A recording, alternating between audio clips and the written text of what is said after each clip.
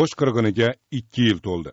ikki ming o'ninchi yilning o'ninchi iyun kuni o'shda boshlanib keyin jalolobod viloyatida davom etgan tartibsizliklar qirg'iziston janubi bo'ylab yuzlab kishining yostig'ini quritdi. Minglab turar joy va ishlab chiqarish obyektlari talandi vayron qilindi yondirildi. O'sha fojiaga oid eng so'nggi kuni kecha qirg'iziston prezidenti rasmiy saytida e'lon qilingan hujjatdan ba'zi raqamlarni keltiramiz. Qirg'iziston prezidenti farmoyishiga binoan ikki oy mobaynida ishlab chiqilgan o'sh qirg'inining rasmiy versiyasida mana bu ma'lumotlar keltirilgan. To'qnashuv oqibatida to'rt yuz qirq ikki kishi halok bo'ldi. Ulardan to'rt yuz yigirma bir nafarining jasadi kimniki ekanligi aniqlandi. Qurbon bo'lganlardan ikki yuz to'qson besh nafari yoki yetmish foizi o'zbek bir yuz yigirma uch nafari yoki yigirma to'qqiz butun o'ndan ikki foizi qirg'iz. Bir rus bir pokistonlik va bir uyg'urdir. O'sh voqealari bo'yicha besh yuz qirq besh kishi jinoiy javobgarlikka tortilgan. Ulardan to'rt yuz nafari yoki yetmish uch butun o'ndan uch foizi o'zbek. bir yuz o'ttiz uch kishi yoki yigirma to'rt butun o'ndan to'rt foizi qirg'iz. Sakkiz nafari ikki butun o'ndan ikki foizi boshqa millatlar vakillari. Uch ming yetti yuz qirq olti ko'chmas mulk obyekti uylar oshxonalar va kafelar magazinlar yondirib yuborilgan. Ularning aksariyati o'zbeklarga tegishli edi. Bu ma'lumotlar eslatib o'taman kuni kecha qirg'iziston prezidenti rasmiy saytida e'lon qilingan hujjatdan olindi. Bu ozodlik radiosi pragadan gapiryapmiz. Tinglay boshlaganingiz o'sh qirg'ini ikki yil o'tib eshittirishi dasturimizda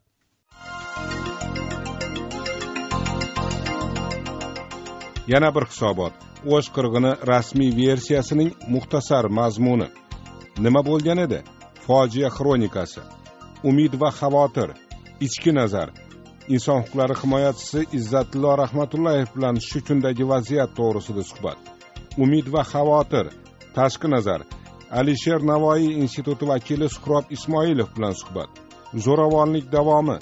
Fojiadan ikki yil o'tib ham militsiya xodimlari taqibidan qutulolmayotgan o'shlik o'zbeklar hasrati. Qolipdan ko'chgan g'isht turkiyada ishxona ochgan o'shlik qochqin bilan suhbat. Kerakli odam o'zbek va qirg'iz san'atini uzoq sharqda targ'ib qilayotgan qirg'izistonda xizmat ko'rsatgan artist hamidullo madxoliqov bilan suhbat. Bularning barchasini o'sh qirg'ini ikki yil o'tib eshittirishida tinglang. Bu ozodlik radiosi. Pragadan gapiryapmiz.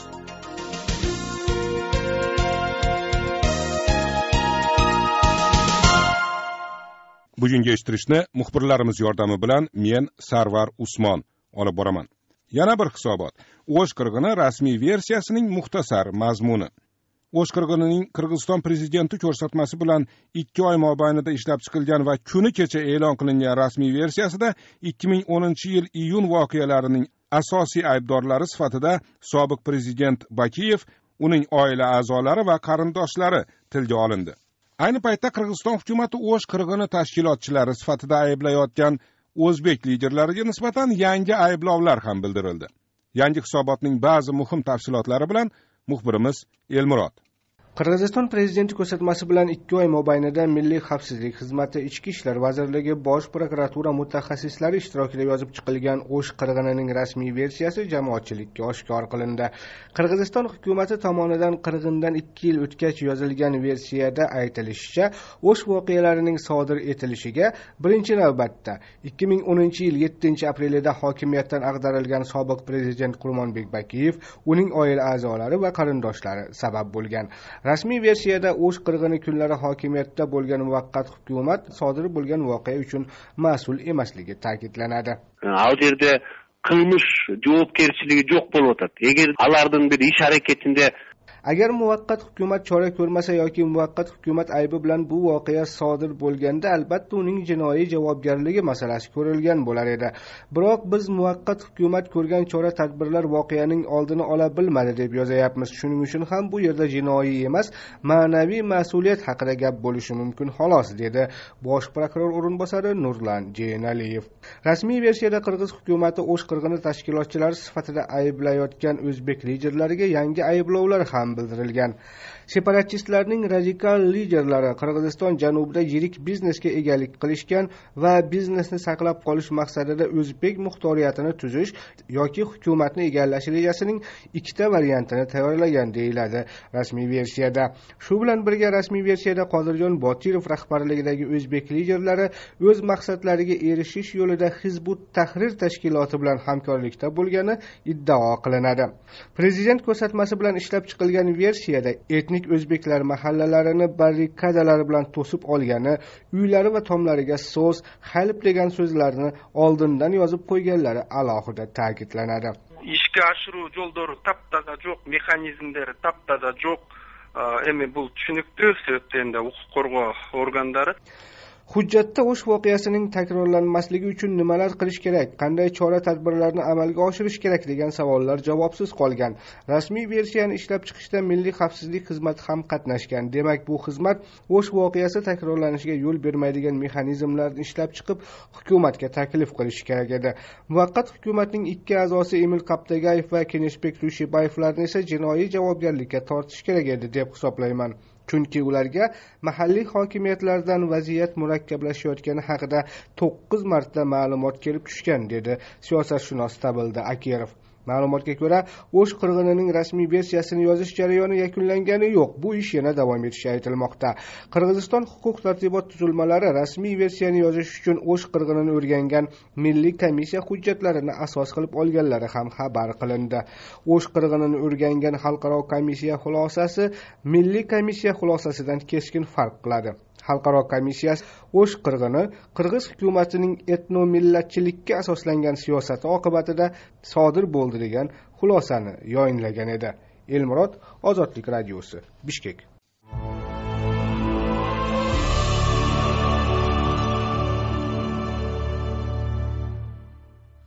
O'sh qirg'ini ikki yil o'tib eshittirishini tinglayapsiz bu ozodlik radiosi pragadan gapiryapmiz. Nima bo'lgan edi? Fojia xronikasi. Bundan ikki yil muqaddam ikki ming o'ninchi yil o'ninchi iyun kuni boshlangan fojiani ozodlik radiosi oshig'ich diqqat bilan kuzatgan va qirg'in butun dahshati bilan sarlavhalarimizda aks etgan edi.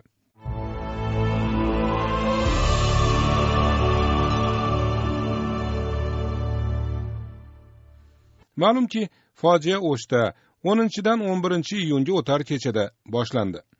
O'n birinchi iyun kuni esa ozodlik saytida mana bu sarlavha paydo bo'ldi. O'shda favqulodda holat joriy qilindi. Yana bir sarlavhamizga qaraganda o'sha kuni qurbon bo'lganlar soni yigirma olti kishiga yetgan edi. O'n birinchi iyun jumaga to'g'ri keldi. Juma namozi o'qilganidan keyin o'sh bilan bir devor qo'shni furqat qishlog'i bilan bog'landik. Besh oltita uy yonyapti qatorasiga. Furqatdami furqatda qirg'izlar qirg'izlar olib qo'ygan ular o'zbeklarni uyiga haligi karimjonni uyi haligi qobil akani uyi u haligi isof akani uyi hozir to'rtta beshta uy yonyapti soldatlar to'rtta beshta odam o'ldi soldatlar osmonga o'zbeklarga otyaptida osmonga otyapti o'zbeklarga otyapti mana hozir yana mana soldatlar kelib o'zbek tarafga otyapti mana mana o'qaroqda eshitilyaptimi mana eshitilyapti eshitilyapti mana tank hozir oldimizdan o'tib ketdi o'tyapti otyapti no orada to'rtta beshta odam haligi qari osmonjon aka hojika bor ediyu qari mana. Mana. U dahshat do'zax bo'lib ketdi. Eshitilyaptimi? Eshitilyapti o'n birinchi iyun kuni furqat qishlog'ida amalga oshirilgan qirg'in paytida yozib olingan suhbatni tingladingiz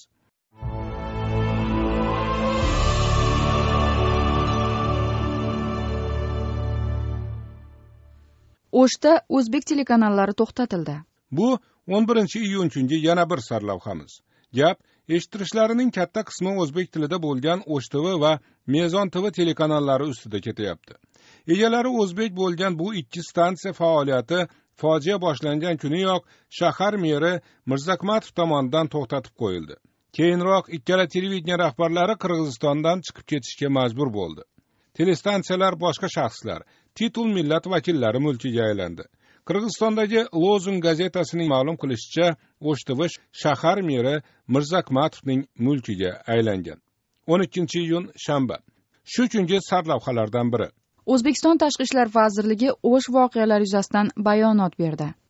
Mazkur bayonotda o'sh shahri va viloyatida asosan o'zbeklarga qarshi bo'layotgan hujumlar fitna sifatida qoralangan va ulardan maqsad qirg'iziston janubida yashovchi milliy ozchilikni o'z yeridan siqib chiqarish ekani aytilgan.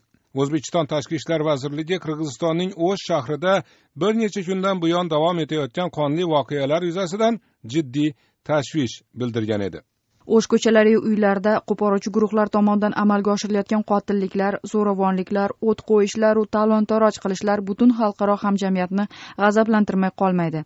Amalga oshirilayotgan ushbu ommaviy qotilliklar o'g'irlik va xonadonlarga o't qo'yish holatlarining ayniqsa o'sh va o'sh viloyatida yashovchi o'zbeklarga nisbatan sodir etilayotgani alohida va jiddiy xavotir tug'dirmoqda. Deyilgan edi o'zbekiston tashqi ishlar vazirligi tomonidan e'lon qilingan bayonotda.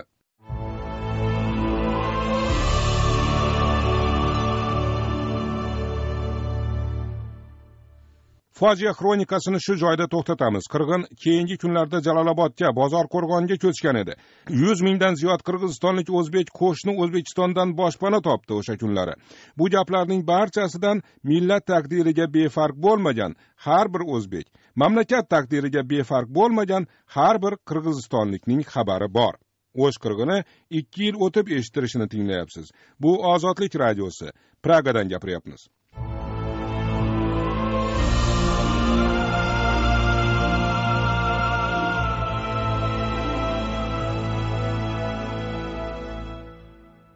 Endi shu kunning gaplariga o'tamiz.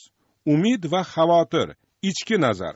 O'sh qirg'ini paytida vayron etilgan shaharni qayta tiklash uchun ikki yil vaqt kerak bo'ldi.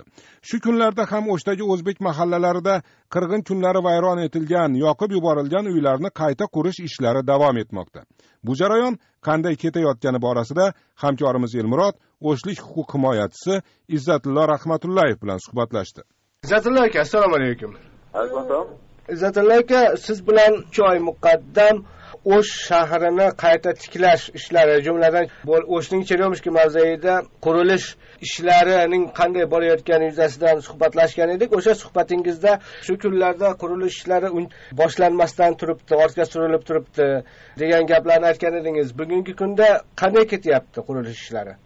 Bugungi kunda ko'z tegmasin juda yaxshi. Ana shu bir ikkita tanqidiy maqolalarimizdan keyin datskiy sovet aksiyat boshqa bugungi kunda ana shu jabrlangan rayonlarda qurilish olib borayotgan organizatsiyalar ishlarini jadallashtirdi. Bugungi kunda черемушка mavzeida mana uylar birin ketin bityapti aholidan avvalgidek arzotlar yo'q faqat bittagina arz mana shu elektr energiya qarzi bo'yicha odamlarda solingan noqonuniy ish taraflarni peniyalari oshib judayam o'sha muammo bo'lyapti. Kechadan beri mana bir yettita sakkizta odam keldi.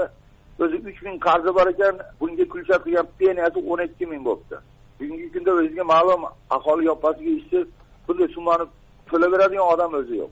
O'zi bu masala bo'yicha bir maxsus qarorlar ham qabul qilingan edi menimcha o'sha shahar bo'yicha.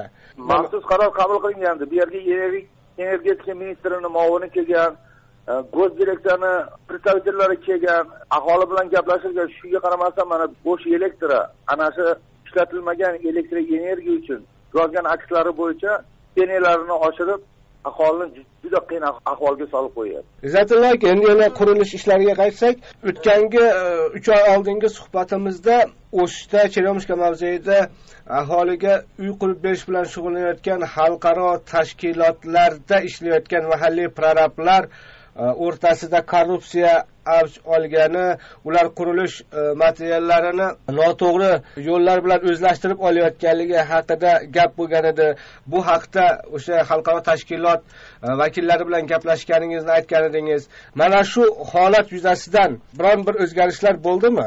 Albatta ana shu ozodlik radiosida yana bir qancha saytlarda shu qurilish organizatsiyalarida bo'layotgan korrupsiya haqida ma'lumotlar ketgandan keyin ariza bilan murojaat qilgan jabrlanuvchilarga yetmagan materiallarni olib kelishib berib kechirim so'rab ketishdi o'tirgan shu ofisimizni oldida bitta uyga olti yarim kub shigonka tushirib berdi. Yana narida uch yuz ellik kilo sement berdi. Undan tashqari yog'och armaturalarni berdi. Faqat qog'oz yuzasida ariza yuzasida murojaat qilganlarinikini ana shu yetmagan materiallarni olib kelib berib kechirim so'rab ketdi. Qurilish ishlari shu yil yakunlanib qoladimi xudo xohlasa? Qurilish ishlari juda jadal ketyapti. Mana yigirma o'ttizta uy o'ninchi iyunga topshiramiz degan значит gaplari bor. Komissiyalar chetidan komissiyalar kelib bularni tekshirishyapti. Hozir izzatulla aka millatlararo ishonchni qayta tiklash bo'yicha ham bir tadbirlar o'tkazilayotgani haqida xabarlar olinyapti. Umuman e, mana shu tadbirlarni millatlararo ishonchni qayta tiklashiga o'zbek bilan qirg'izni inoqlashishiga qanday hissasi bo'layapti? Bunaqa bir krупно масштабный tadbir o'tkazganda meni xabarim yo'q. Yer yerlarda mana shu empolar ikki millatni yarashtirish uchun bir harakatlarni olib boryapti. Sekin asta bular samarasini beryapti. Nima desam bo'ladi? Yov qarashlar yo'qda ozayib qoldi hisobida. Отдельный случайlar bo'lib turibdi mana. Kecha mana bu internatsional ko'chasida kechasi bir noma'lum shaxslar mashinadan avtomat chiqarib osmonga qarab otib o'tib ketibdi. Mana chikalov ko'chasini aholisi erta bilan bizni ofisga kirib keldi. Aytyapti tuni bilan uxlaganimiz yo'q. Kechasi mana bunaqa avtomatni очередь qilib otib ketdi deb militsiyaga murojaat qildik deb aytishdi. Shunga o'xshagan mayda chuda bugungi kundagi osoyishtalikni buzadigan ishlar bo'lib turibdi. O'sh voqeasini qaytarmaslik uchun hukumat tomonidan biron bir chora tadbirlar ko'rilayotgani umumanki xalqni e, birlashtirish yo'lidagi harakatlari sezilarli bo'lyaptimi? Nima desam bo'ladi? Sezilarli darajada emas. Haligi samaragli degan gap boru bugungi kunga kelib o'zbek ham qirg'iz ham buni tushundi. Agar bizda tinchlik bo'lmay tinchlik osoyishtalik bo'lmaydigan bo'lsa kelajagimiz yo'q degan bir xulosaga keldida bugungi kunda xalq o'zi sekin integratsiyaga kirishyaptida bu yerdachi? Hukumat organlarini o'tkazgan tadbirlari shu nima desam bo'ladi protokol qatorida ketyapti o'shlik huquq himoyachisi izzatullo rahmatullayev bilan shahardagi shu kungi vaziyat to'g'risida suhbatlashildi.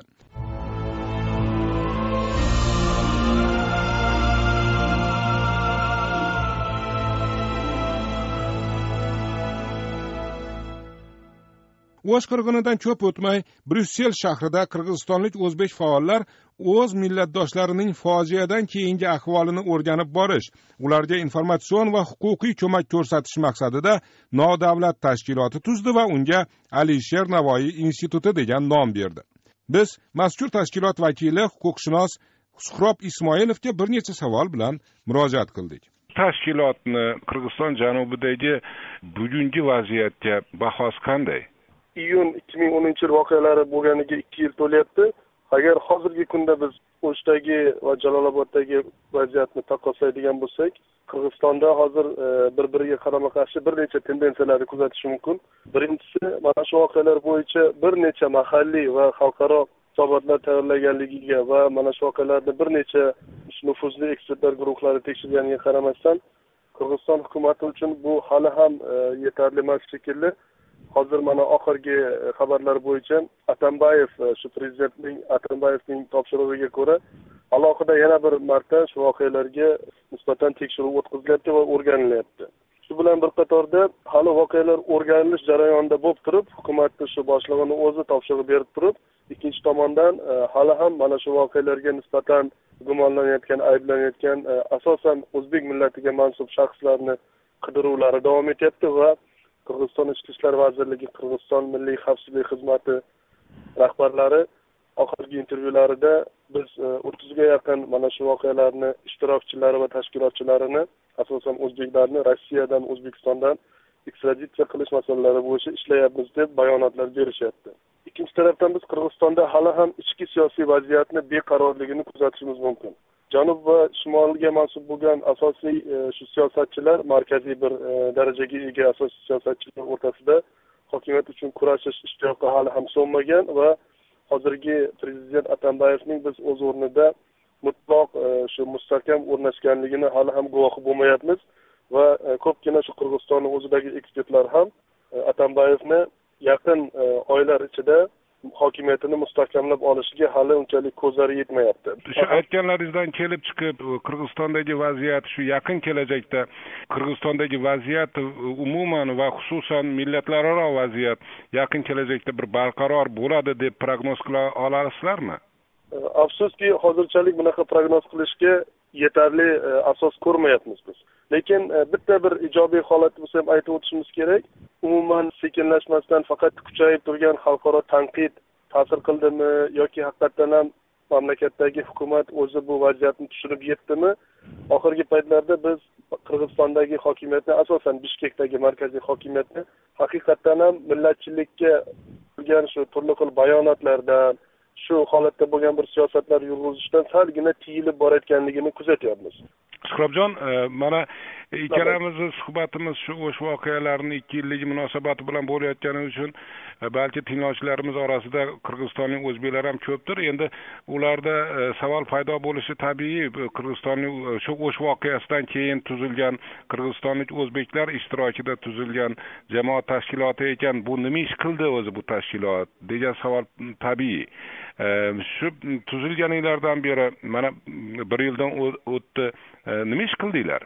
Albatta bu savol tabiiy. Tashkilot tuzilganidan beri e, bir necha shu harakatlarni amalga oshirdik. O'tgan yili oktyabr ikki ming o'n birinchi yilda shu xalqaro yevropada xavfsizlik va hamkorlik hamkorlik bo'yicha xalqaro tashkilotning konferensiyasi chog'ida biz ham o'zimizni shu qirg'izistondagi vaziyatga bag'ishlangan seminarimizni o'tkazdik va bu seminar doirasida yana fotovystavka ham tashkil qilindi. Bundan tashqari shu tashkilot tarafidan aynan shu qirg'izistondagi millatlararo vaziyatga bag'ishlanib uchta hujjatli film suratga olindi va bu filmlardan ikkitasi hozirgi kunda tarqatildi.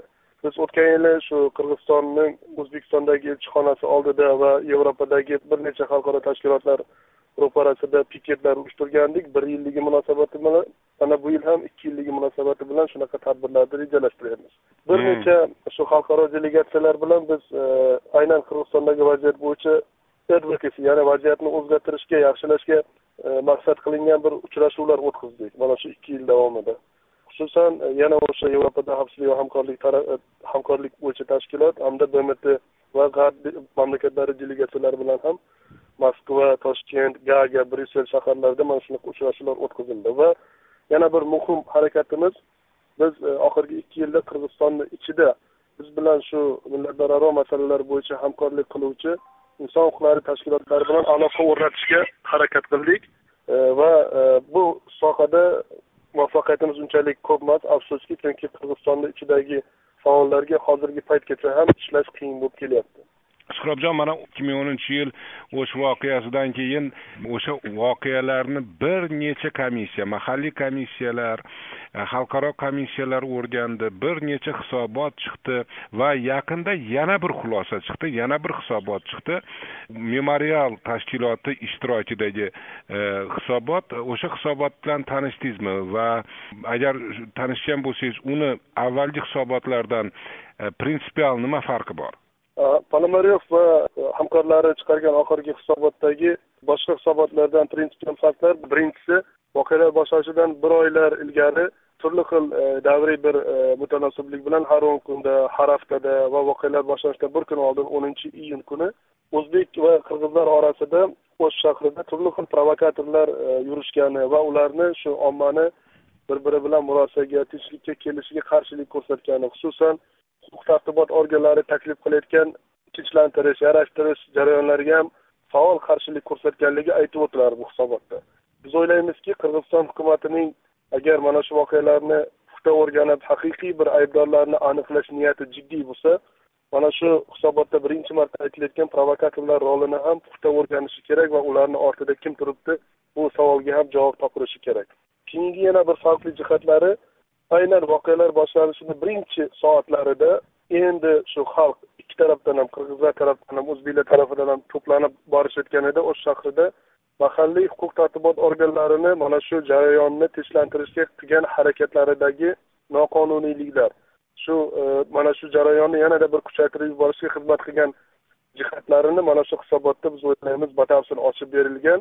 Bu jihati ham ilgari tuzilgan hisobotlarda birontasida hali ochilmagan edi shuning uchun biz o'ylaymizki mana shu jihatiga ham huquq tartibot organlarini voqealarni yana battarroq bir e, chigarlashtirib yuborishidagi rolini ham puxta o'rganishiga biz e, mana shu hisobot xizmat qiladi deb o'ylaymiz. Va uchinchi jihati birinchi marta e, boshqa hisobotlardan farqli o'laroq mana shu hisobotda shu kungacha hamma qariyb shu qirg'iziston hukumatini o'zi o'tkazgan uchta tekshiruv va uchta rasmiy xulosasida takrorlanayotgan miflar e, o'zi bo'lmasa ham e, bo'lyapti deb aytilayotgan afsonalarni qanchalik haqiqatga to'g'ri keladi shular ochib berishga harakat qilingan. Birinchisi masalan voqealarni go'yoki bir guruh o'zbeklar qirg'izistondagi yotoqxonada qirg'iz talabalarini talaba qizlarini zo'rlab o'ldirishgan mana shundan boshlanib ketdi deb iddao qilinadi.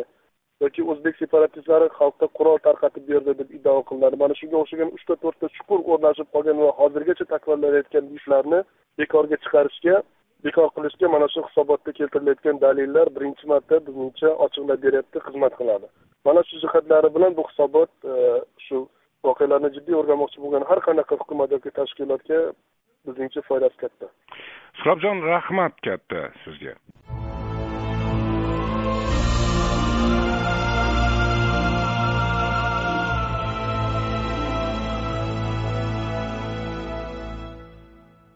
Ozodlik savollariga bosh qarorgohi bryusselda joylashgan alisher navoiy instituti vakili suhrob ismoilov javob berdi.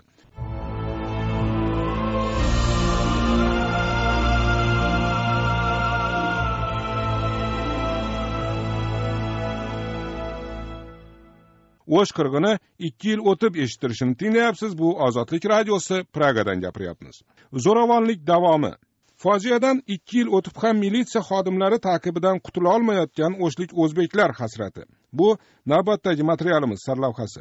O'sh shahar militsiyasi boshlig'i suyun umurzoqov o'shlik o'zbeklarni noqonuniy ta'qib qilayotgan va huquqlarini buzayotgan militsiya xodimlarini jazolashni va'da qildi. O'shlik huquq himoyachilariga ko'ra militsiya boshlig'i huquq tartibot tuzilmalari xodimlarining noqonuniy harakatlaridan shikoyat qilib kelgan bir guruh o'zbek ayollari bilan uchrashib mana shunday bayonot bergan. Tafsilotlar bilan elmurod. O'sh shahrining turon mavzesida yashovchi muvazzalxon jo'rayevaning aytishicha ikki ming o'ninchi yil iyun voqeasidan so'ng militsiya xodimlari uning turmush o'rtog'i va o'g'illarini noqonuniy tarzda ta'qib qila boshlagan. Uning aytishicha dastlab militsiya xodimlari uning oilasidan o'n ming dollar pul yoki porter rusumidagi mashinasini berishni talab qilishgan. O'n ming dollar bersasan hozir bermasang bolang ham hammang yo'q bo'lasan hozir ushlab anaqa qilamiz dedi. Keyin qayerdan olamiz bekardan bekar desak bo'lmasa portering bor ekan porterni berasan dedi. Muvassalxon jo'rayeva shundan so'ng eri va o'g'illari rossiyaga ketishga majbur bo'lganini aytdi. Kuni kecha uning turmush o'rtog'i rossiyadan qaytib kelgan. Bundan xabar topgan militsiya xodimlari jo'rayevlar xonadoniga kelib yana pul talab qilgan. Erim keluvdi keyin shunaqa deb pul talab qilib ketdida yana qo'rqitib qaysi militsiyalar kelib uyingizga o'n ming dollar berishasan deb talab qildi? talay uchastkovoy bilan bitta ikkita kichkinagina bolalar yosh bolalar ular вообще osmondan kelyapti seni seni deydi bolang kelar ekan yaqinda to'y qilasan ekan to'y kuni olib chiqib ketamiz. Ha biz baribir qolmaymiz deydi men yomon o'tin chiqib ketdi deydi muvassalxon jo'rayeva. Qo'shning turon mavzesida yashovchi saodatxon tursunova ham turmush o'rtog'i militsiyaning noqonuniy taqibidan qochib rossiyaga ketishga majbur bo'lganini shu kungacha o'shga qaytishga qo'rqayotganini aytdi. Lekin shu bo'yicha rossiyaga chiqarib yuborgancha endi kelolmay yuribdi.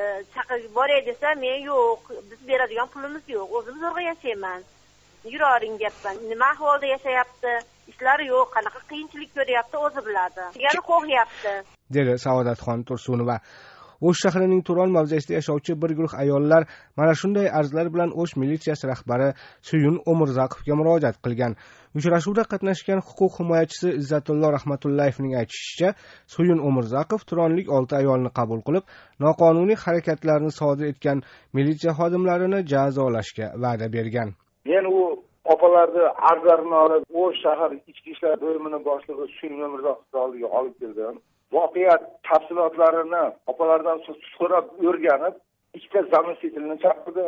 Bugungi kunda ana shu ulardan vmagat degan сотрудник militsiyani ustidan jinoiy ish ochishga va'da berdi. Bundan tashqari ichki ishlar bo'limini birinchi muavini aytishiga qaraganda turon shaharchasida faqatgina uch shaxs qidiruvda ekan. Qolgan qidiruvda bironta odam yo'q. Bu сотрудник o'zboshimchalik bilan ish qilgan deb aytdi. Opalarga va'dani berdi. Hozir ikki ming o'ninchi yil qaysi sotrudnik bo'lishidan qat'iy nazar agar jinoiy ishga qo'l urgan bo'lsa qonun oldida javob beradi. Millatidan boshqasidan qat'iy nazar deb ular va'dalarni berishdi dedi izzatullo rahmatullayev. O'zini o'sh shahar militsiyasi rahbarining yordamchisi deb tanishtirgan shaxs ozodlik bilan telefon suhbatida bu kabi uchrashuvlar aholi bilan tez tez o'tkazilib turilayotganini buning oqibatida militsiya xodimlari orasida noqonuniy harakatlar sodir etish ikki ming o'ninchi ikki ming o'n birinchi yilga nisbatan keskin ozayganligini bildirdi. Ушундай faktlar nima bo'lib qolsa известно болуп калса жесткий чара колдонот андай неме сотрудниктергечи биздечи militsiya xodimlarining noqonuniy harakatlar qilgani aniqlanib qolsa ularga nisbatan o'ta keskin choralar qo'llanilayapti dedi o'z ismini aytishni istamagan militsiya xodimi elmurod ozodlik radiosi bishkek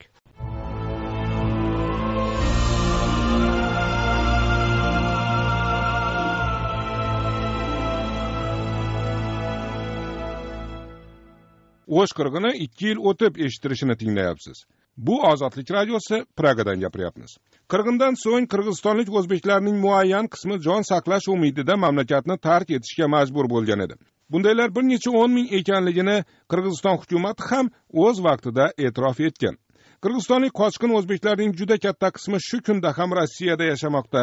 Qaytganlar ko'p qaytmaganlari undan ko'p. Rossiyadan tashqari qirg'izistonlik o'zbeklarni shu kunda boshqa postsovet va yevropa mamlakatlarida uchratish mumkin. Turkiyaning birgina g'azantep shahriga esa ba'zi norasmiy ma'lumotlarga ko'ra uch yuzga yaqin qirg'izistonlik o'zbek oilasi boshpana so'rab borib qolgan. So'nggi xabarlarga qaraganda musofirchilik og'irligi xalqaro tashkilotlar yordamini kutish mashaqqati turkiyaga borib qolgan o'zbeklarning toqatini toq qilgan va ularning bir qismi rossiyaga ko'chgan. Biroq taqdirini turkiya bilan bog'lashga qaror qilgan o'shliklar ham bor. Ular bu mamlakatdan nafaqat ish topa bilmoqda balki o'zlarining ishxonalarini ham ochmoqda. Turkiyada o'z nonini o'zi topib yeyishni boshlagan o'shliklardan biri bilan suhbatlashdik. Suhbatdoshimiz ismini aytmasligimizni iltimos qildi. Siz bilan o'sh voqealaridan keyin turkiyaga yetib borganingizdan beri adashmasam uchinchi marta gaplashishimiz shu o'shlik qochqinlarini bugungi ahvoli qanday turkiyada? Mana ikki yil bo'ldi o'sh voqealariga. Esingizda bo'lsa agar ana shu o'tgan safargida o'shlarni sog'inib yig'lagan kunlarimiz ham bo'ldi hayot keta olar ekan endi turkiyani nonini mana ikki yildan beri yeb ichib yuribmiz sizlar turkiyada birlashgan millatlar tashkilotini qochqinlar ishlari bo'yicha komissarligidan boshpana so'ragansizlar E, shu masala hal bo'ldimi bo'lmadimi? Boshpana oldinglarmi bo'lmadi olmadinglarmi? Yo'q unaqa narsa yo'q bo'lgani yo'q bo'lgani yo'q mana. Ikki yil bo'lsa ular xabar ham olib ham qo'ygani yo'q. Menimcha ular siyosat shekilli hammasi. Hozir allohga shukur yana odam biz o'zbek ekanmiz o'z mamlakatimizda ham yurtimizda ham ishlab pul topib tirikchiligimizni o'tkazib yurganmiz. Qancha qancha odamlar rossiyalar tirikchiligini o'tkazgan biz o'zbeklar topamiz ekan. Qayerda bo'lsa o'zimizni nonimizni topib yeymiz ekan. Ishlayapsizmi hozir hozir? Shaxsan e, siz. Men hozir o'zim ishlayapman ha ishlayapman. E, bir kichkina bir yangi bir rossiyadan bir texnologiya oluvdik ana shuni hozir yo'lga solyapmiz bu yerda turk birodarimiz bizga boshlig'i bo'lib barobarlikda shu ishni amalga oshiryapmiz nima ish agar sir bo'lmasa? Qurilish materiallari shunga o'xshagan. Ishlab chiqarasizlarmi qurilish ha materiallari? hozir mana ha shunga o'xshagan ha, qurilish materiallari bu plitka tosh deb qo'yadi trotuarniy plitka deb qo'yadi shunga o'xshagan yangi texnologiyasi bo'yicha hozir shu ishni ishlab chiqyapmiz demak e, turkiyada ishlashga ruxsat olibsizlarda hozir hozir bizga ruxsat beryapti turkiyada ish izini beryapti. Sizni yoningizda yana qancha qochqin bor edi o'shlik uch yuzga yaqin oila bor edi ularni ko'pchiligi ketib qoldimi? Ko'pchiligi ketdi ha Rossiyaga? rossiyaga ha. Rossiyaga ukrainaga u yoqlarga ketishdi. O'shga borganini omma eshitmadim o'shga borgan bo'lsa ham o'shga bir kirib uydan ota enasidan xabar olib yana ketdimi? Men omma undan anaqam yo'q. Ko'proq tashqarida o'shda emas. Men taniganlar ko'pchiligi bilan gaplashyapman hammasi ular tashqarida. Turkiyaga bir mehr tushib qolgandir hozir turkiyaga hozir menga masalan boshqa yerda amerikani aytadimi kanadani aytadimi yo bo'lmasam avstriya yo'q turkiya biz uchun bizni nimaga deganda turkiya bilan bizni mentalitetimiz sal yaqinroq ekan. Boshqa mamlakatlarga qaraganda bu yerda masalan besh mahal namoz o'qiysiz masjidda ozonlar ovozi har bir uyda masalan yashayotgan uyda masjidda ovozi ozonni ovozi eshitiladi.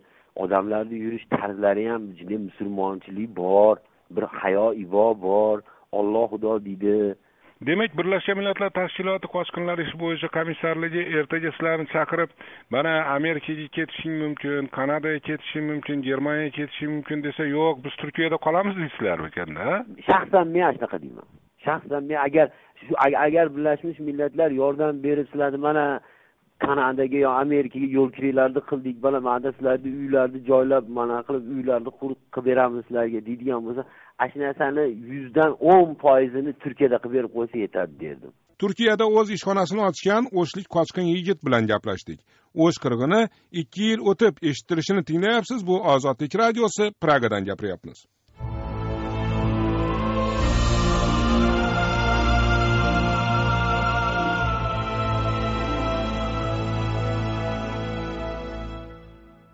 O'z qirg'inidan so'ng xavfsizlik nuqtai nazaridan mamlakatni nafaqat oddiy kishilar balki ko'zga ko'ringan ziyolilar madaniyat va fan arboblari ham tark etishga majbur bo'lishdi. Ozodlik radiosi ikki yil mobaynida muhojirlikda yurgan o'shliklarning ayrimlari hayotlarida yuz berayotgan o'zgarishlarni kuzatib bordi va ulardan biri bilan o'tkazganimiz muloqotni hozirgina tingladingiz. Radiomiz nazarida turgan muhojirlardan yana biri qirg'izistonda xizmat ko'rsatgan artist xonanda hamidullo madxoliqov edi. Hamidullo ikki ming o'ninchi yil iyun fojiasidan so'ng rossiyaning xabarovsk shahriga ketib u yerda oshxonada ishladi bozorda savdo qildi qora yumushlarni ham hatto bajardi. ikki ming o'n birinchi yilda u o'shga qaytdi ammo oradan ikki uch oy o'tgach yana rossiyaga xabarovskka qaytib ketishga majbur bo'ldi. Hamidullo madxoliqov bilan hamkasbim elmurod suhbatlashdi.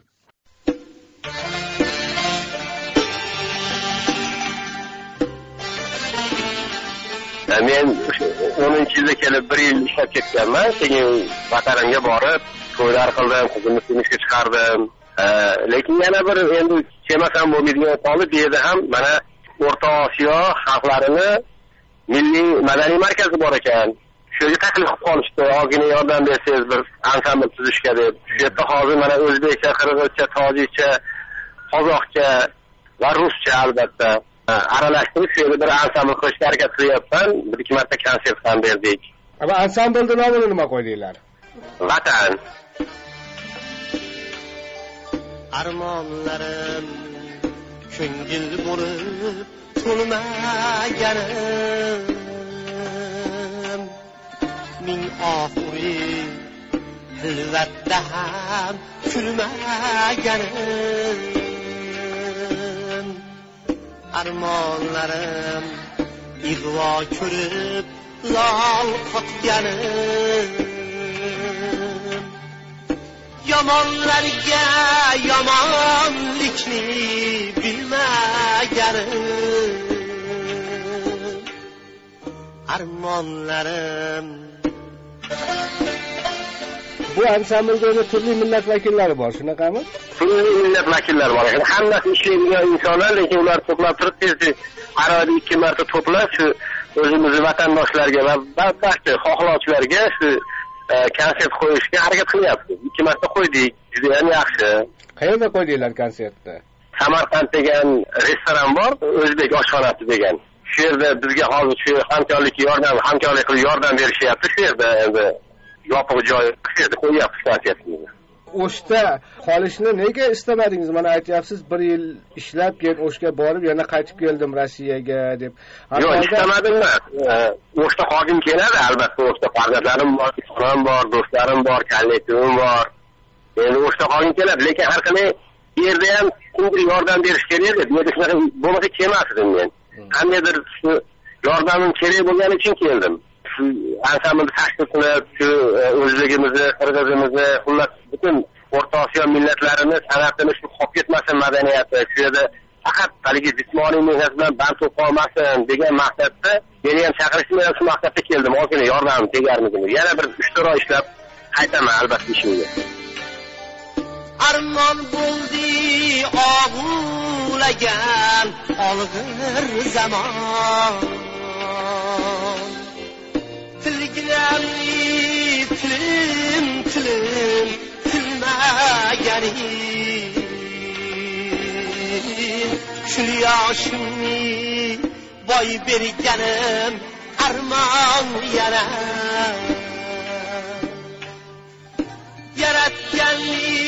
mehrobiga kelmaganim armonlarim. Kelajakda rejalaringiz qanday? Masalan e, bir gaplashganimizda aytgan edingiz shu konsert programmasini tayyorlab qo'ydim toshkentga borib zapislarni e, qilmoqchiman e, degan edingiz toshkentga bordim prямой efir bor. To'g'ridan to'g'ri ko'rsatuv bor shu ko'rsatuvga taklif qilishgan uni men badiiy kengashdan ham o'tgan edim. Litsenziya kerak ekan unga. Keyin bu yoqqa chaqirishdi bu yoqda kerakroq bo'lib qoldim bu yoqqa kela qoldim. U reja turibdi. Xudo xohlasa mana shu o'n uchinchi yili o'shda o'zimizda ham bir hisobot konsertini beraman xudo xohlasa. Demak yangi qo'shiqlaringiz bor a yangi qo'shiqlarim bor. Bu yerda ruscha qo'shiqlar ham o'rganyapman hozir. Yana ko'p shunaqa to'garak ansambllar bilan muloqotda bo'lib turibman. Ruscha xorlar bilan yana boshqa tansimalli gruppalar har xil gruppalar bilan aloqa qilib turibmiz birgalikda. Hamidulla aka rossiyada jumladan o'sha xabarovsk o'lkasida yashayotgan o'shlik o'zbek va qirg'iz birodarlarimizni bir biriga bo'lgan munosabati qanday bo'lyapti bugungi kunda? Bilasizmi musofirchilikda har qalay yomon emas mana to'g'ri kelamiz xuddi haligi o'zimizni vatandoshlarimizni baribir endi ko'rishsa albatta harakat qilamiz ko'rishib ham turamiz. Hamma ish bilan band. Munosabatlarda bir biriga yov qarash yo'qmi unaqa narsa sezmadim. Endi yurtdoshlarimizga tilaklaringiz hamidulla aka. Ho'p yurtimiz tinch bo'lsin xalqimiz sog' salomat bo'lsin ittifoqchilik bo'lsin doimo yashnab gurkirashni xohlayman. Bizni qirg'izistonimiz o'shimiz ayniqsa dunyodagi eng go'zal joylardan bittasi. Ayz baraka bo'lsin tinch bo'lsin tinchlik omonlikda ko'rishaylik vahdatmayin ichmaganim armonina yuragimni ishq dardiga bilmaganim hayallagan haqiqatning hikmatlari armon bo'ldi o'lmay turib o'lmaganim armon armon el aylanib necha zamon mug'annining qabrin tavof qilmaganim armonlarim. Qirg'izistonda xizmat ko'rsatgan artist xonanda hamidullo madholikov edi. O'sh qirg'ini ikki yil o'tib eshittirishini tingladingiz. Eshittirishni sarvar usmon olib bordi. Xonadoningizga ko'nglingizga xotirjamlik ketmas bo'lib qaytsin qirg'izistonliklar. Salomat bo'ling.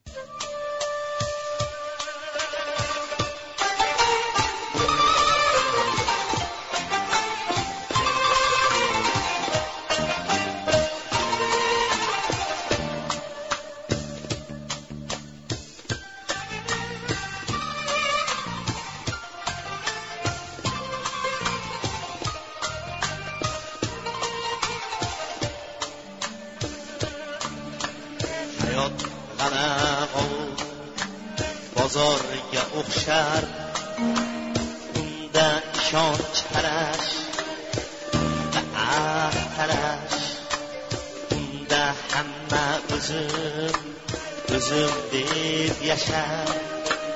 Unda quvonch talash zarra baxt talash. Oldinga o'tishni istar hamma ham. Bunda gullar talash tor yo'llar talash. Tugamas ekan gar olamda alam. Zaha yurar ko'chalaru ko'ngillar talash jahon yuraklaru